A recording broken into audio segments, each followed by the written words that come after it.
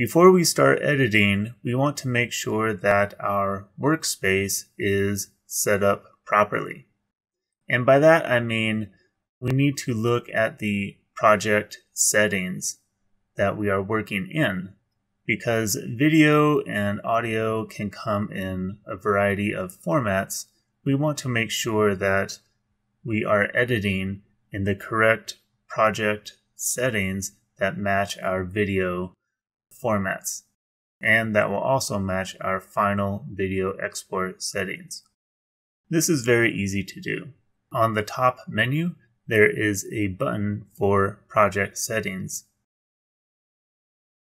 I can click it and it will let me choose my profile. Right now the profile is set to HDV 720 24p 1280 times 720.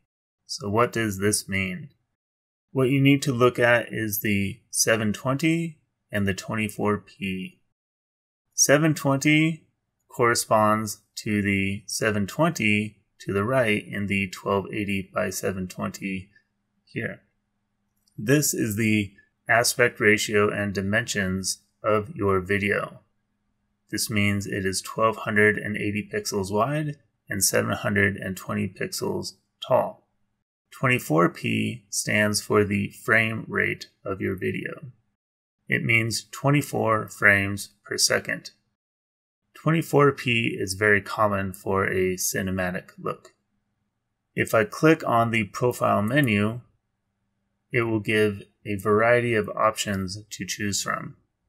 Most of the time, you will choose 720p 30 frames per second. This is standard for the web. For the cameras that you are using, you can record in 720p and 1080p.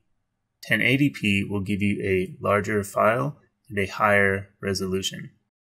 But it will be more difficult to edit with and it will be more difficult to play on the web, depending on your bandwidth connection.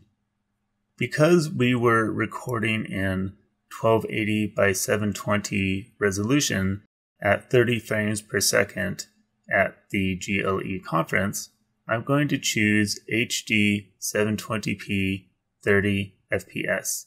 Again, this means a resolution of 1280 by 720 pixels at 30 frames per second. Now we can start editing. First, I'm going to drag a video file down to track 1.